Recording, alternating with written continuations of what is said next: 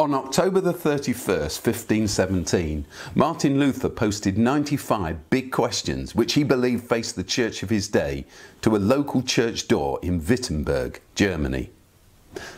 500 years later, I decided to post 95 new questions, one a week, to the web, questions which I believe the church must face in the 21st century.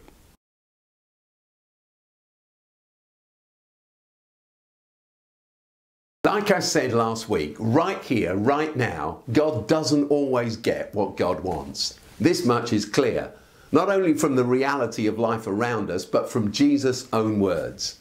The kingdom, or perhaps better expressed, the kingship of God, how the world would be if the God of love was in control rather than the politicians, the corporates, the banks, rather than us, is at one and the same time in pockets both already present breaking in, but still a longed for future hope in its completeness.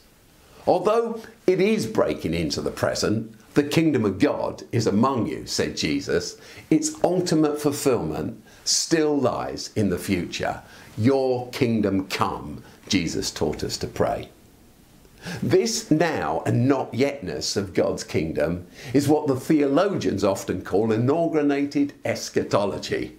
Eschatology is the word, the long word, for the part of theology which is concerned with the final events of history, the ultimate destiny of humanity.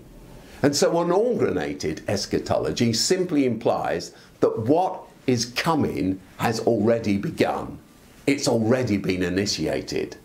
However, if you're going to use long terms, I prefer the phrase collaborative eschatology. God the Creator calls us, His creatures, to partner with Him by playing our part in the transformation and the renewal of the whole earth.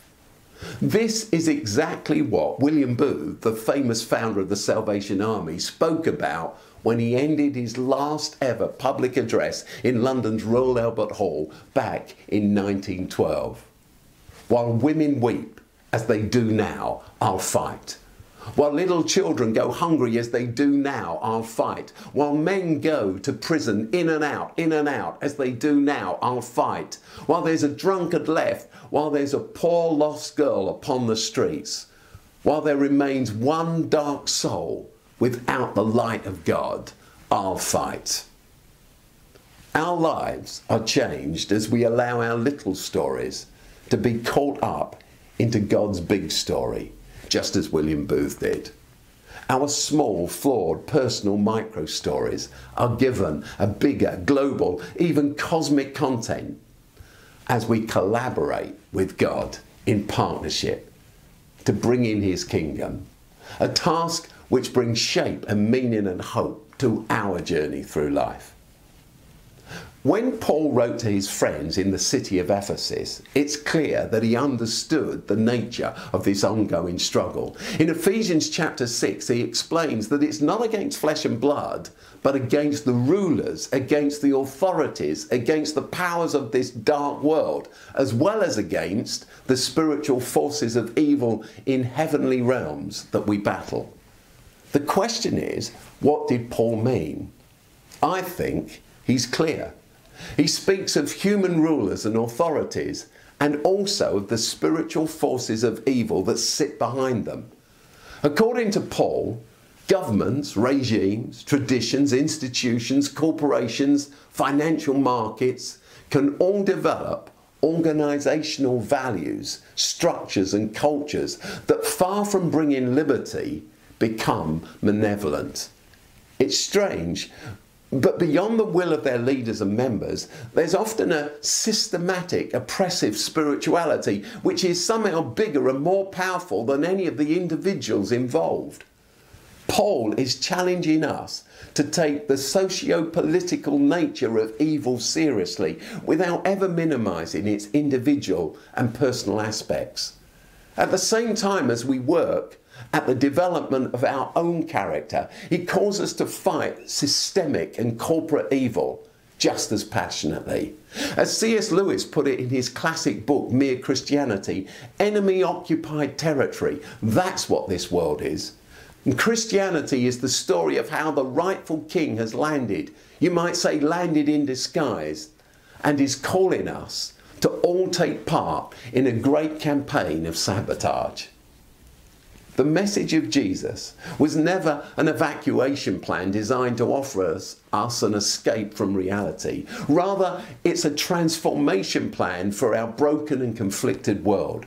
We're called to collaborate with God as His active moral agents as we work to bring about the will, the kingship, or the kingdom of God right here on earth as it is in heaven.